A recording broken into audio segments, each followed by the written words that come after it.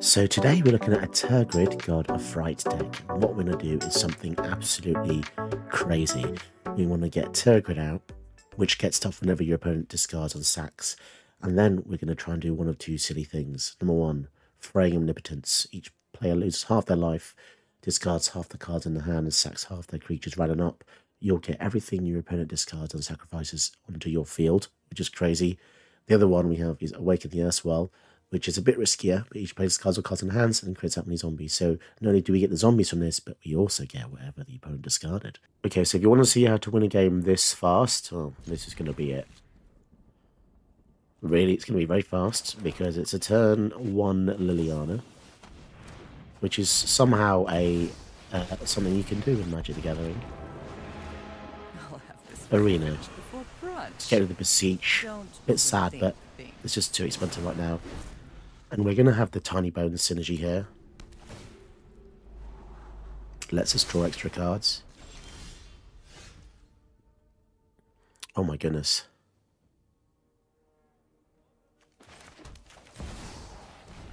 This is wild. Get rid of the Triumph. I doubt they're going to have any creatures. Not too sure if they are. Aetherflux Reservoir. Okay, so do they have the kill spell for Liliana? We shall have to see. I think we get rid of the Aetherflux.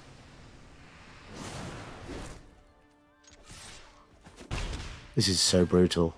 I actually can't believe they're letting us follow. I mean, letting is not the right word. I guess not stopping would be more accurate. Wow, fraying omnipotence as well. I think we're actually going to get rid of the swamp here. I want to keep the omnipotence, the lols. And next turn we can actually, if we really wanted to, we could separate their lands into two piles. Murderous Rider. Okay, so our streak oh, has ended.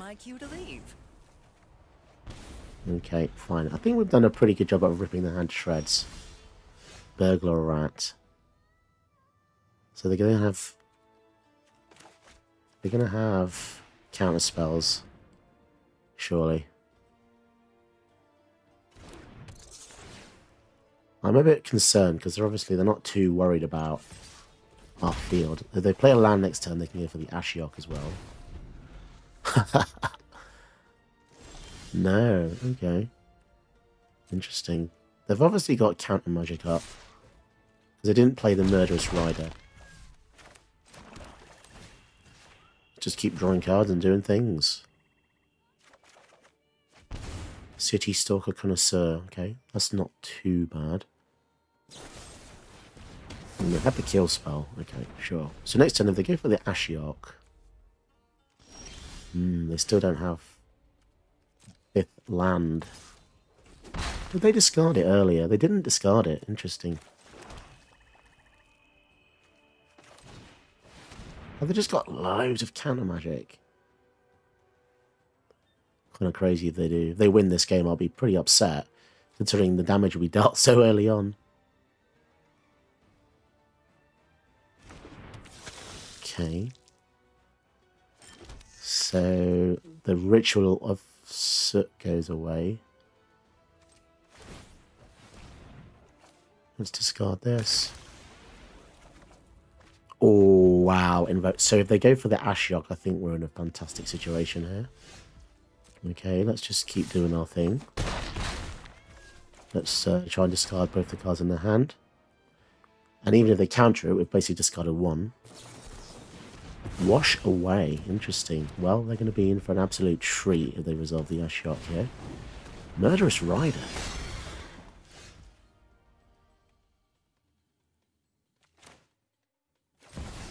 Okay, see if they've got more counters. Right, they're completely out now. Man, what a toxic deck. I mean, I know we we did a really dickish thing, but my goodness. Counter, counter, counter, counter, counter. Ridiculous. So the best thing to do, I think, would be invoke despair.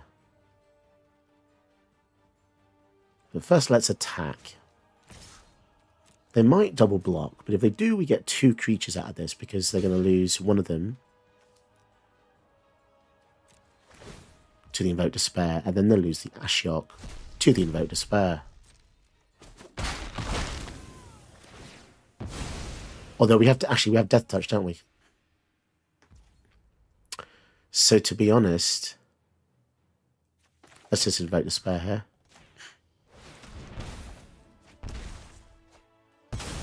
Yeah, I think that was the right move. And we even get to use Arcane Signet. Wonderful. Down to 8. done surprisingly well considering we had our turn 1 Liliana. It looks like they've still got counter magic, which is kind of crazy. Let's test that theory with the lantern. It's funny because this lantern is probably more effective than the Tergrid side now. Considering it lets it, you know, it deals three damage. Make disappear. Well, they're still hanging in there. Rod on the snow goes away. oh, I love destroying counter players. It's so fun. It's so much fun. Just given how many counters they had, I think they deserve to lose that one. Just for the honour. no honour. I really can't say no to a of Citadel. It's just lovely. One of my faves. Atraxa Praetor's voice. We see this all the time in my channel. It's becoming kind of like a meme now. If I don't see an Atrax on a video, then call the police. We got rid of a mystical dispute. Interesting. That's very meta. God. Just goes to show how many blue decks there are running around the format. We, we see the mystical dispute. It's crazy. Growth spiral here. I'm just saying, you know, I'm just saying, I'm pretty good at this game, guys. Pretty good at this game. I've been at it a while. Growth spiral, 7 to 10, they're going to go for the Atraxa, I guess. Maybe. It's risky, we've got black mana open. Or do they not care? Maybe they got balls. Sorin the Mirthless. Well, here's an interesting thing. We can kill that pretty easily, yeah. Right. Nice. Annoying that they have the residual creature, I have to say. You will serve me well. That is pretty annoying. Okay. I don't really want to use the Sheoldred's Edict on this token. I might have to.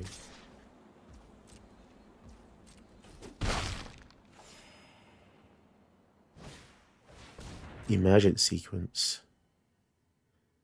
They want a ramp for some reason or another.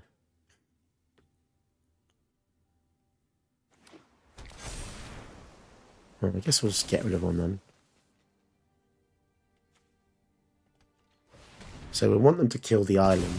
Yeah, okay. They've got two mana up. Let's try the Davriel here. They might have a counter. Okay.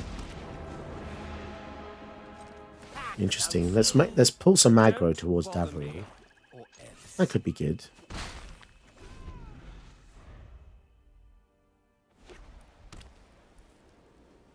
You might just have a kill spell for him though It's entirely possible. So they attack me or a planeswalker. They discard a card if they can't sack an attacking creature. It's pretty powerful ability. I, would rather have just. Interesting. They're just going to go for dudes. Show them the edge of your blade. Land is quite good. Citadel. Here we go. Divest. Okay, okay. We can keep going. Discard stuff, please. And we could kill the flyer.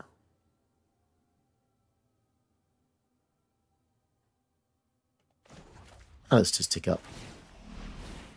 Let's make smart decisions, shall we? Okay. So the the Wanderer the Wanderer is an issue, but mostly because she can just she can clear the field of creatures, but she's got all the creatures anyway, so I think we got pretty lucky with our double discard there on the Mythos and the Spell Pierce getting rid of those. But now we need a board wipe because this is getting in our hand. He doesn't really have an ultimate there, that's the interesting. Oh, Languish. That's crazy. Wow, that was super lucky, guys. That was the most lucky top deck in a while. Right, let's get some conditions going here. Trust me, you won't refuse my offer. What's in our graveyard? We've got just a rat.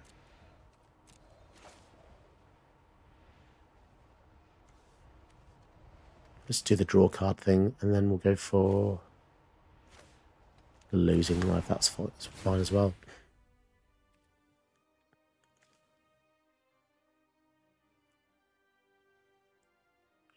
Choose a creature that play controls. We only have one.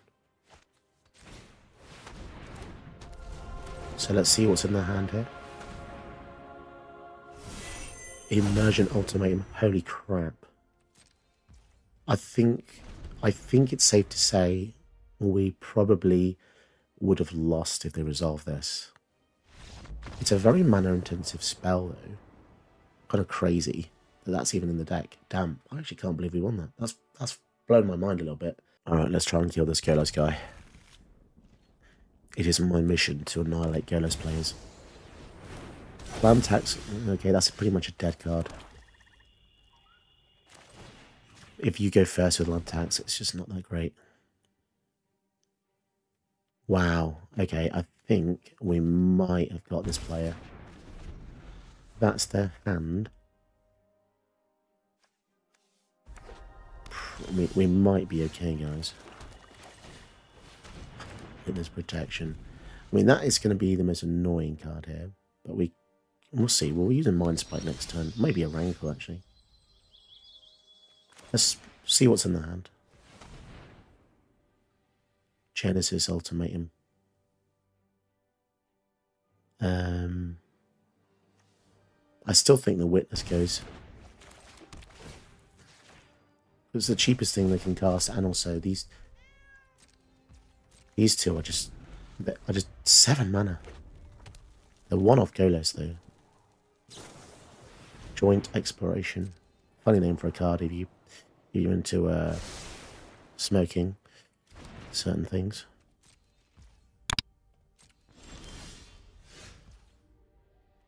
So we could legit just use Awaken the Erstwhile here. I feel like that just hurts us more than them. So let's just get rid of their expensive cards. Well, they get to choose here, don't they? If it's equal value.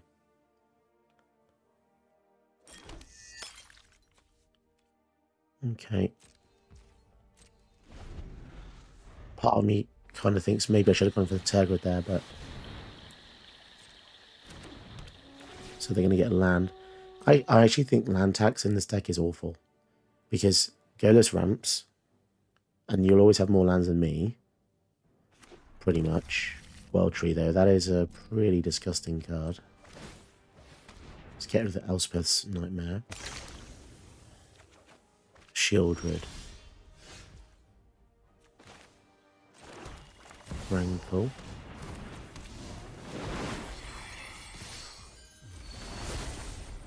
So I want to discard cards really.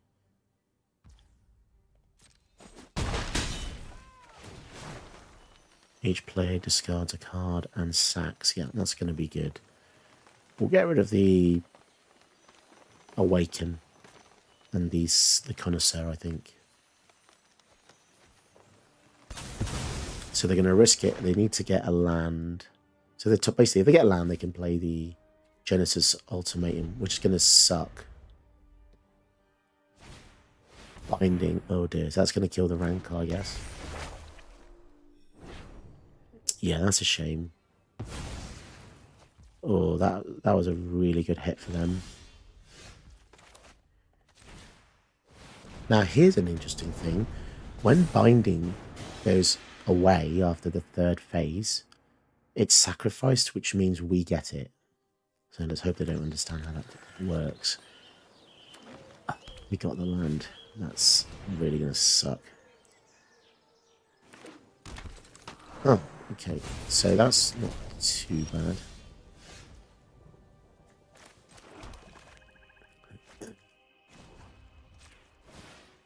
So we've got four, five, six, seven. We can't go for both. Let's go for Sheoldred.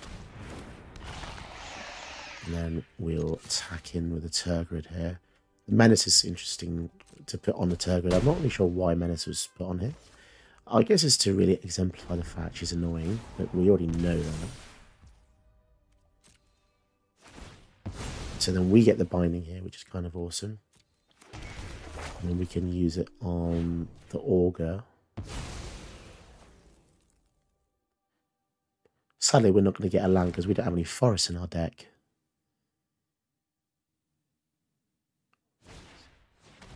Diabolic Intent. That means we get it because they sacked it. That's quite interesting.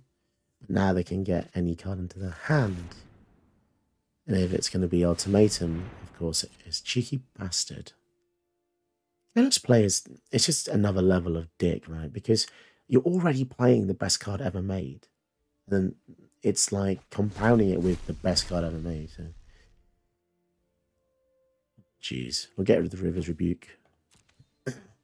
Although the irony is when they play the Saga, it's gonna... Let's, let, let's test them here. If they go for phase two. Oh, they're to go for phase one. Interesting. Okay.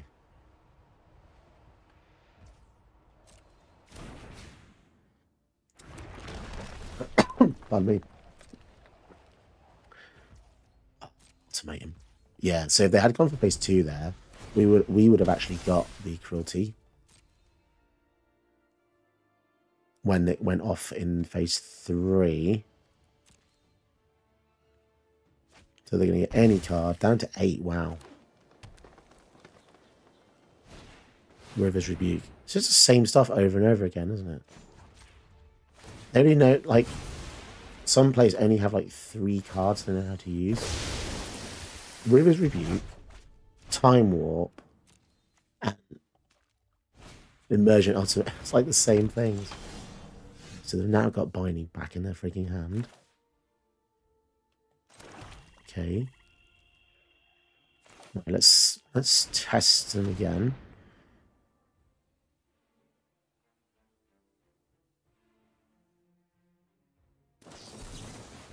As if. Oh, as if they had a counter spell. But now they've got the binding anyway. That really does suck.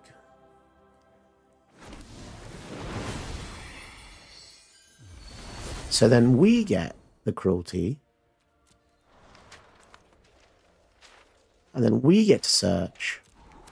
This is funny, the amount of times we're just swapping sagas. So what do we want? They're down to eight. I don't really know what we can kill them with. There's nothing we can just kill them straight up with. I guess the Citadel is going to be the best thing here. Because we've got the Aether Flux. So they use the binding... Oh, they're going to get all the guards, aren't they? Oh, so then we get the land, but then we're just going to die because they're going to get every single guard, aren't they? And if they get every single guard...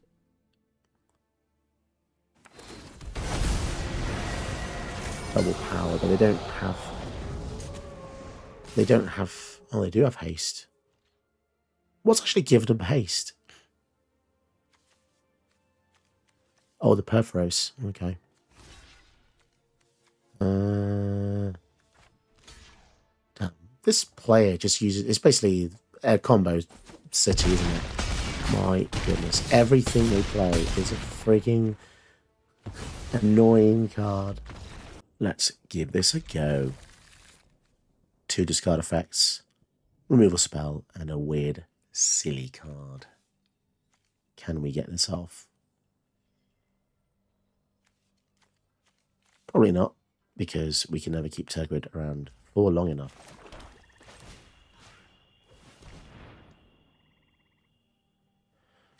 Okay, Elvish Mystic has to go there.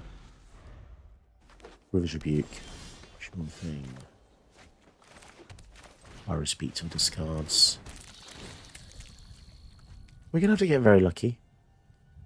But the hand isn't too scary here. They only have one land and a mystery card. What's the mystery card? Nobody knows. Liana, will it resolve? It does resolve. This is my home, Let's and get I rid of the here. Sadly, it's just I just feel like it's not going to do anything. The only way to kill these tier one decks is to destroy their hand. It seems.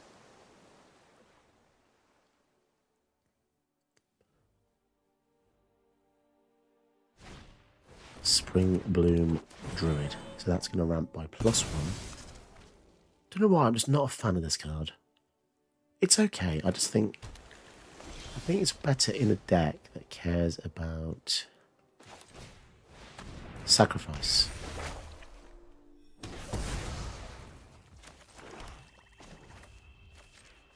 So we're going to lose our removal Drop spell it. here. But they're going to lose Land 5 or River's Rebuke. I'm guessing they kept a land. Yep. And they get an armoured scrap gorger. Okay, and there's a harrow. We're in a pretty good situation.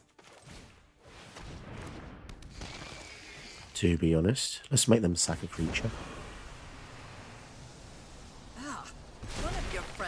Interesting choice.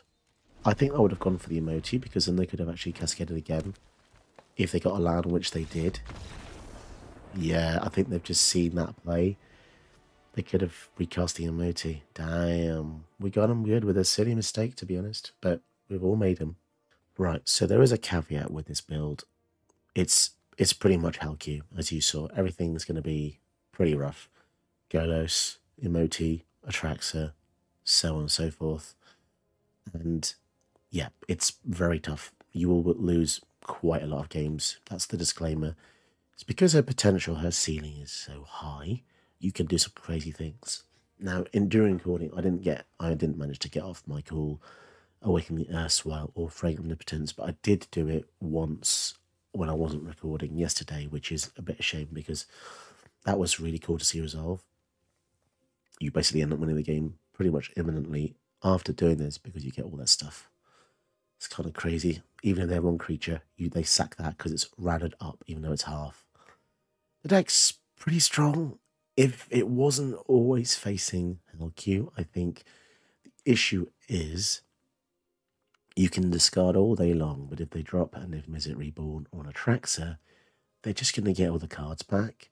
And that's something about having cards in the command zone that makes them really powerful and immune to stuff like this. The only way to get around that is to have your own advantage engine. And the only way I can really sustain that properly is with stuff like Bolas Citadel, because it can just give you so much advantage late game. But yeah, that's just the risk of the deck. You've probably seen a lot of these decks, and they are horrible to face. But it's still an interesting challenge because it's not just easy mode. It is it's a powerful deck, but it requires thought, especially when you have to keep choosing what to discard a lot of the time. But yeah, if you want to see the deck list, it'll be in the description below. And if you want to support the channel, because YouTube doesn't really pay me much, any support on Patreon or Ko-fi is greatly appreciated. On Ko-fi, you can donate any amount. And on Patreon, if you become an adult dragon patron, you get a custom video of your choice. You can tell me what you want, what commander, and I'll do the video for you. All right? Cheers. Did you know that you can help my channel by watching another one of my videos? Go ahead, you know you want to.